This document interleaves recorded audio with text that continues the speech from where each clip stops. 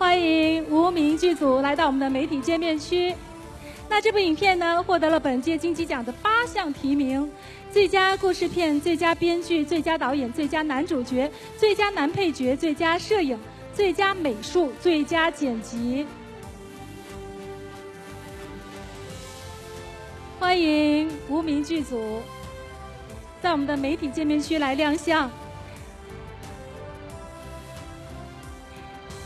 我们知道梁朝伟先生凭借沉稳深邃的何先生呢是首提金鸡奖的最佳男主角，而王一博呢也因完美诠释隐忍而锋利的叶先生，同样收获了金鸡奖的肯定。